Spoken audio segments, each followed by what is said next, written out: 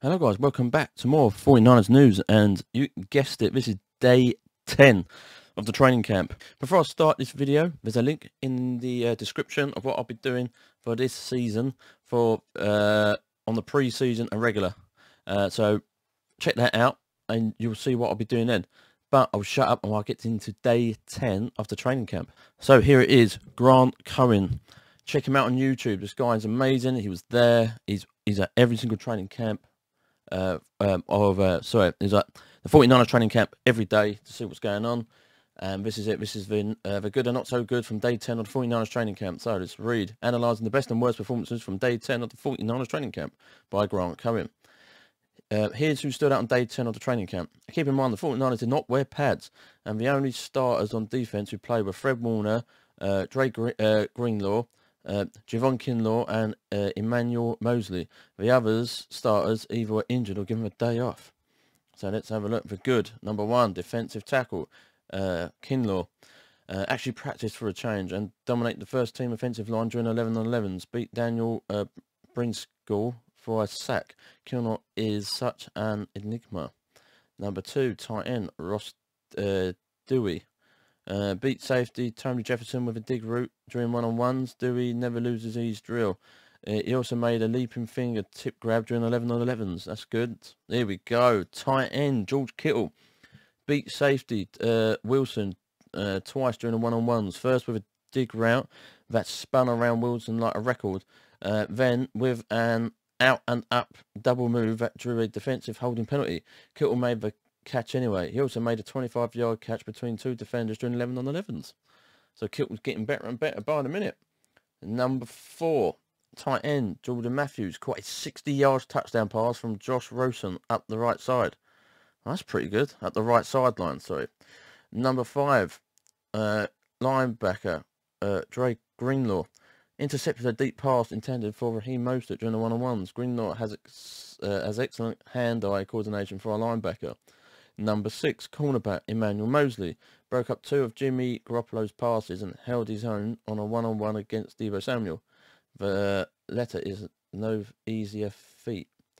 Number seven, fullback Josh uh, Hokit. Uh, filled in for Carl Juszczyk, who had the day off and caught a team high five passes during the 11 11s. The 49ers almost never call passes for Juszczyk in practices or games for that matter. I wonder if he's jealous. Number eight, uh, running back Trey Sermon. Uh, big Greenlaw with a whip route during the one-on-one. Sermon is hard to cover out the backfield. Number nine, running back uh, Hasty. Um, won all of his reps during the one-on-ones. Hasty clear is the most difficult for the 49ers running backs to cover. Number 10, safety, uh, Mayden, uh, broke up a deep pass intended for Jordan Matthews, who was running a corner route. Okie dokie. Now the not so good. So here we go for that one. Number one, wide receiver. Hurd uh, didn't stretch, didn't practice, didn't show up. In other words, he did what he uh, what he usually does. This is Hurd's third season on the team, and he still hasn't really shown up yet. I wonder if the 49ers will give him a spot on the roster. He definitely hasn't earned one. But this is not good. Yet again, not good again. Defensive end, Nick Bosa. Didn't stretch, didn't practice, didn't walk around with his shirt rolled up. I guess he needed a break from all that not practicing he's been doing off this season.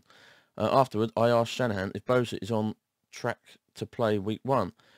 Shanahan said, I believe so. That's been the plan all along. There's been no setbacks. He's doing great right now. We'll see. What's a load of bollocks? This guy... Okay, right. I'll give you my thoughts and opinions in a minute. Number three, wide receiver, uh, Jennings dropped a pass over the middle, made Trey, Trey Lance look bad.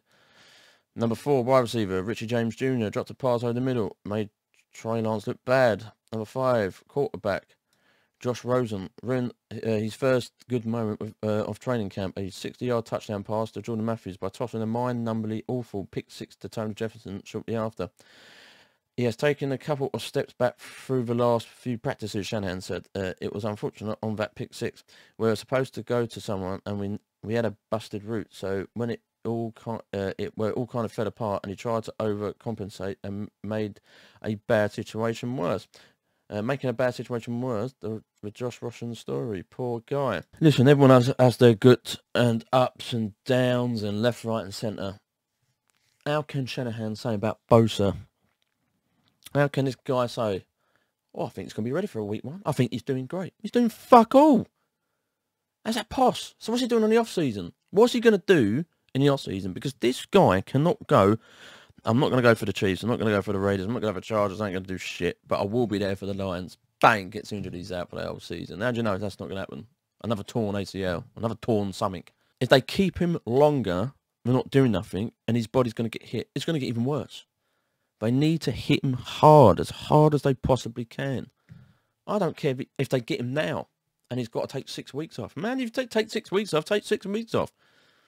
Take four weeks off. This guy needs to be ready. Bosa is probably one of our best defensive end players going. Easy, hands down. I mean, look at the look, look at the time we went to the Super Bowl.